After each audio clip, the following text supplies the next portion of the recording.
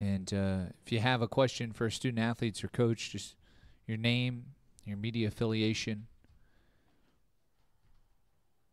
Also, uh, no recording um, with cell phones or, or cameras uh, when talking about our press conference.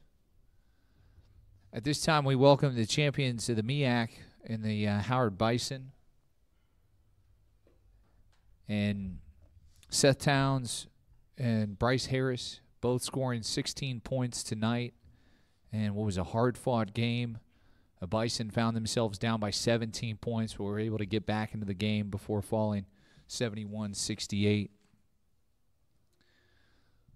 Questions for our student athletes. Let's go to the second row on the aisle.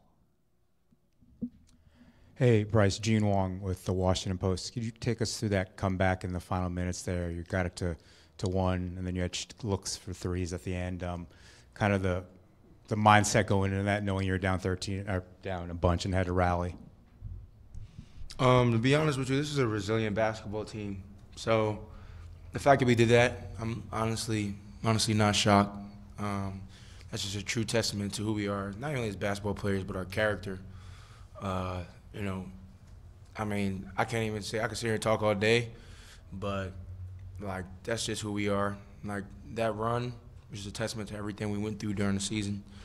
You know, so um, honestly, it just came down to playing together, being connected, um, make sure we stay connected, and that was the mindset during that run. Other questions for our student athletes? We'll go back to the second row there. Hey, so Gene Wang again with the Washington Post. Could, kind of peeking back off that, the resiliency of this team, just how much that kind of carry you through this game and then through the season where you had you faced adversity?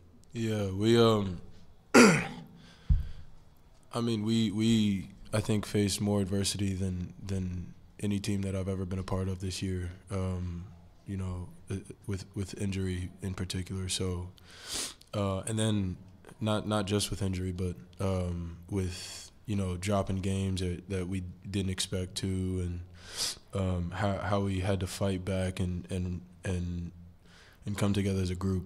Um, you know, it's it's a des- testament to who we've been all season, and um, you know, I, I just couldn't be more proud proud of this group. Let's go to the third row on the aisle. Mike Petralia, CLNS Media. Bryce, can you take us through the last three minutes? What did you think was the key to making that late charge? And, and follow up to that would be the three great looks that you guys got at the, the in the closing seconds. Um, honestly, it all just came down to being tough and hunting, as we would say. You know, doing our AGBs, we did at a very, very high level. Good things happen when you do that. Some would say the basketball gods. You know, uh, they look after you when you do the right things um, and go about trying to win the right way. Uh, so that's really what that push was. Um, you know, it didn't go our way at the end, but for that for that stretch, that's the only concern we had. You know, everything else will take care of itself after you just hunt. Let's go back to the second round. For, for both you guys, even though the outcome didn't go the way you wanted, just the season overall, you, you guys have talked about changing the culture of the program. Just how were you guys able to do that, and what did this season mean to help foster that change? Bryce?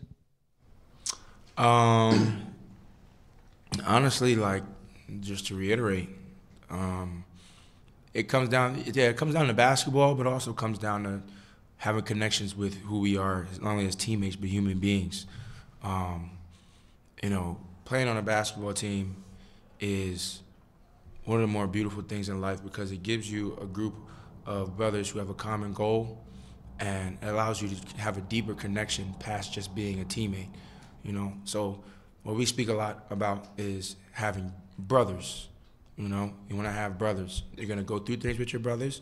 You're going to have good moments. You're going to have bad moments. You're going to have moments where you're mad at your brother your brother's mad at you but you guys have to go through the rocky mountain and get over it so um, especially to reach to reach that common goal so i mean you know in a nutshell that's basically what that was um, you know just understanding each other you know understanding our whys You know, why we play the game. Um, you know, who introduced us to the game. What's carrying us through any type of adversity that we have, whether it's basketball wise or in life in general, and just carry on and be able to lean on one another. Seth? Yeah, I, I think we had several moments throughout the season um, where we really had to look ourselves in the mirror. And I think that seeped into the fabric of who we were, um, who we are. And, um, you know, I, I think that that shows up in the last three minutes of this game. Um, and, you know, furthermore, I think this will show up in the rest of our lives and, and how we proceed as men. So um, it's just a, a, a, testament to, you know, who who each of these individuals are on this team and the culture that's that's been built here. Uh, one more question for our student athletes at first row.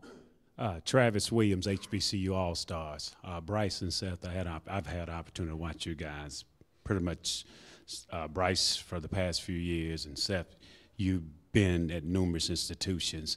Let's talk about this entire HBCU experience. The, you put the world on notice by how how black college basketball is represented at the highest level. So just tell us about the experience of playing HBCUs, but more importantly, letting folks uh, know around the country that we have some of the best in black college basketball. Seth?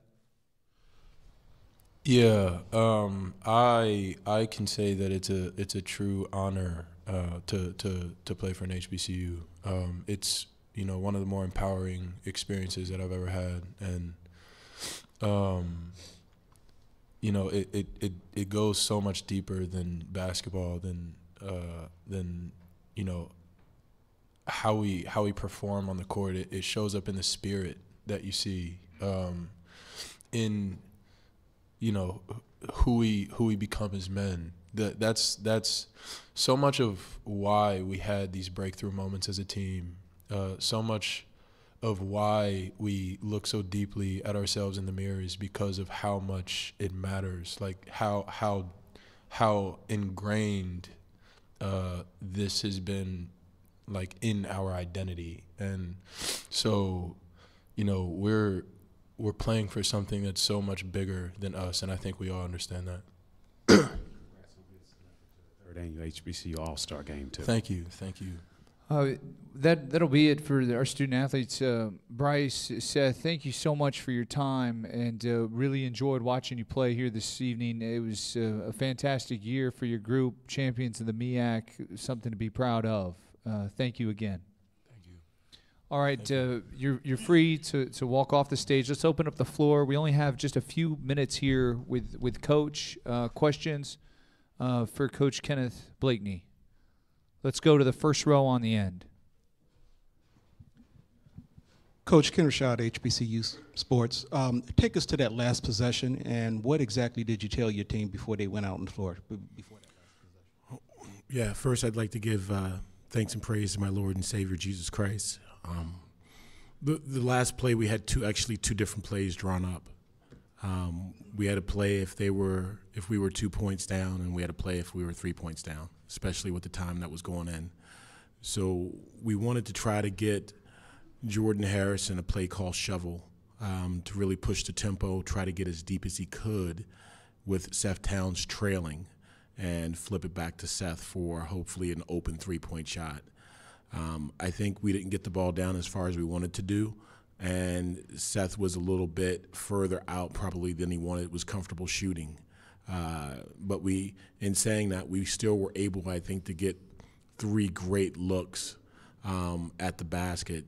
Um, but uh, you know, sometimes the basketball gods uh, are with you, and sometimes they're not.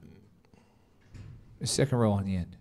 Hey, Coach Gene Wang with the Washington Post just can you speak to the resiliency of the team during that comeback? You're down 13 with four and a half minutes left, and how that kind of carried you throughout moments in the regular season, whereas Seth alluded to, there was there was moments of adversity.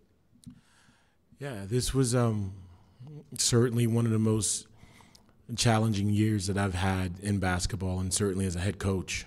Um, when you look at our team, and I don't know what the number is tonight, but before the game, we were at 82 games missed from guys in our rotation And with that, there was never any continuity with this group um, until pretty much the last probably seven to eight games, um, where we had, unfortunately, the, the continuity because guys were out. So we were able to just kind of play with the group of guys that we had.